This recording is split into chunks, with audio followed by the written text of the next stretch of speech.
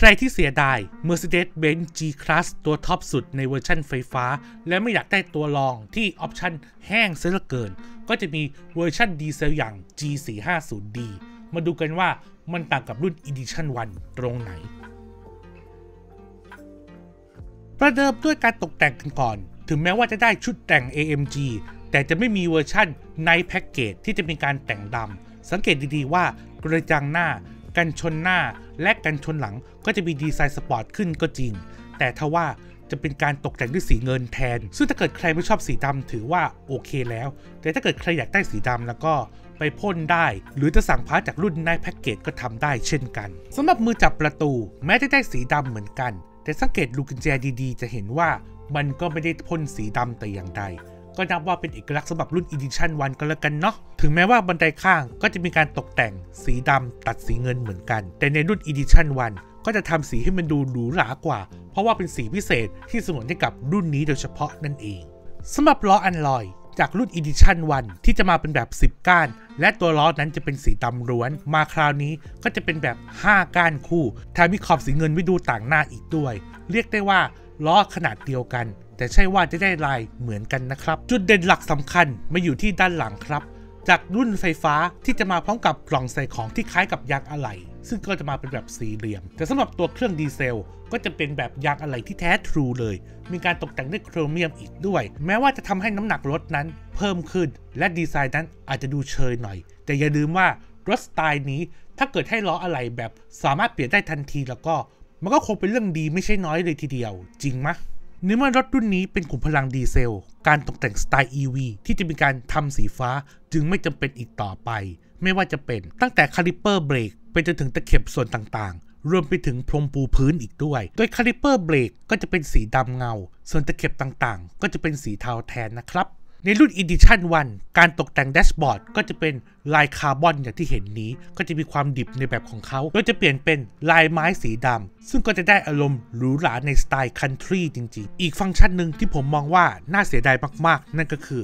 Package Energizing ซึ่งก็จะทำให้การขับขี่นั้นผ่อนคลายและสบายขึ้น จากการจัดบรรยากาศต่างๆ ไม่ว่าจะเป็นเสียง แสงและสีทำให้ความลื่นลมในการขับขี่นั้นเพิ่มขึ้น ยังไม่พอครับ เบาะนวดกับเบาะปรับลมเย็นนั้นจะถูกตัดออกไป แต่อย่างน้อยก็จะมีการติดตั้งฮีเตอร์มาให้เช่นกัน เรียกได้ว่าถ้าเกิดอยากขับขี่แบบสบายเต็มรูปแบบแล้วก็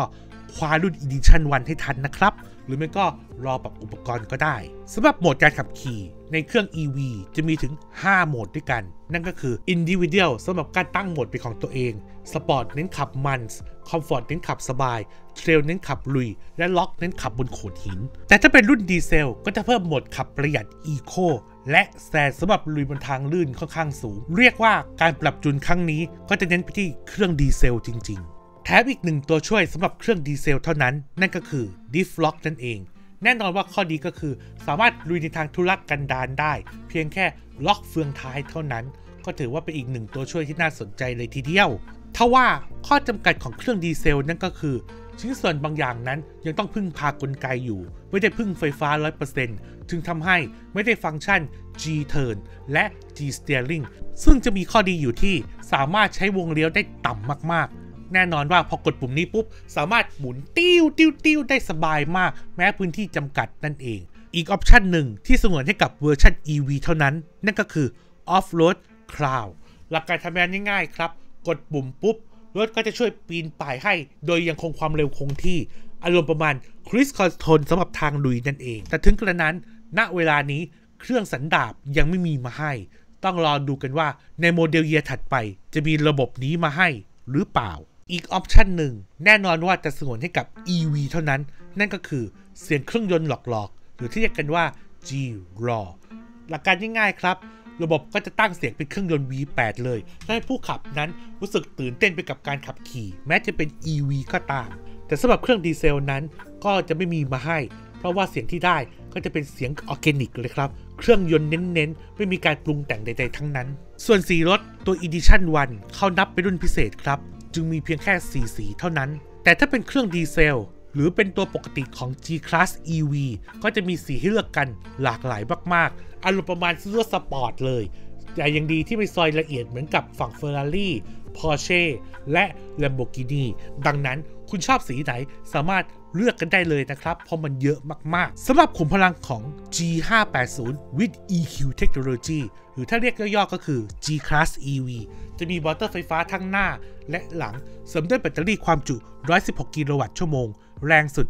587 แรงม้า แรงบิดสะใจมากครับ 1,164 นิวตันเมตร โดยจะวิ่งได้ไกลสุดถึง 473 กิโลเมตร ตามมาตรฐาน WLTP ชาร์จ AC อยู่ที่ 11 กิโลวัตต์ และ DC 200 กิโลวัตต์ ส่วนเครื่องดีเซลก็จะมีสเปคเหมือนกับ GLS เลย เป็นเครื่อง 3.0 ลิตร 6 สูบ พร้อมระบบ Mild Hybrid กำลังอยู่ที่